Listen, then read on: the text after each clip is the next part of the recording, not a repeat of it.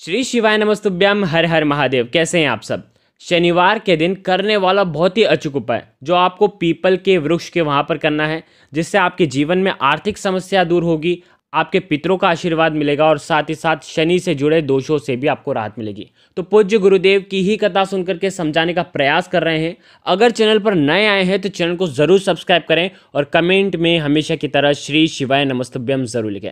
देखिए, ये जो उपाय है यह आप हर शनिवार के दिन कर सकते हैं, या आपकी इच्छा हो तब आप ये उपाय कर सकते हैं, लेकिन आपको ये उपाय शनिवार के दिन ही करना चाहिए। अगर आपको ज़्यादा लाभ चाहिए तो आप शनि अमावस्या या शनि पूर्णिमा पर भी ये उपाय कर सकते हैं। देखिए गुरु कहते हैं कि जो पीपल का जो पेड़ होता है, उसमें साक्षात लक्ष्मी और नारायण का वास होता है शनिवार के दिन।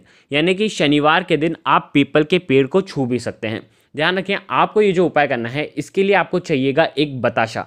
एक बताशा, जो सफ़ेद कलर का बताशा आता है ना, वो आपको चाहिएगा। साथ ही साथ कपूर चाहिए थोड़ा सा और दो लौंग आपको चाहिए। एक दीपक लेना है माटी का।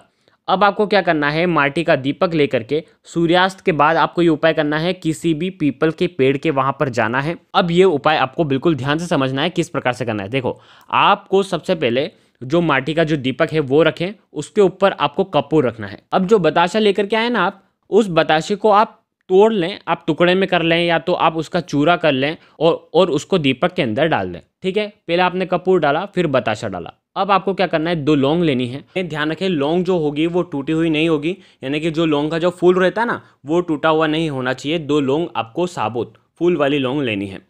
को क्या करना है? आपके सीधे हाथ में रखना है और आपकी जो भी समस्या है, वो आपको बोलना है। जो भी, बड़ी से बड़ी विपदा जो भी आपके जीवन में आती रहती है, उन्हें दूर करने की प्रार्थना करना है और ये जो दोनों लौंग हैं वो आपको उस दीपक के अंदर रख देना है। अब आपको उसको प्रज्वलित करना है और वहीं पर आपको ओम महालक्ष्मी नमः इस मंत्र का जाप करना है। ध्यान रखें, कपूर के अंदर बताशा रख करके अगर आप जलाते हैं तो इससे माता लक्ष्मी बेहद प्रसन्न होती है, क्योंकि बताशा जो है वो माता लक्ष्मी को बेहद प्रिय है। तो पीपल के वृक्ष में माता लक्ष्मी का वास होता है तो जड़ के वहाँ पर आपको ये दीपक रखना है और ये प्रज्वलित कर देना है। और इसमें जो दो लौंग डाली है, उससे आपके पित्र भी प्रसन्न होंगे और शनि देव भी प्रसन्न होंगे। तो बहुत ही आसान सा उपाय है। देखिए, हो सके तो कम से कम पाँच शनिवार के दिन अगर आप लगातार करते हैं ना तो आपको पहले ही दिन से इसका असर देखने को मिल जाएगा।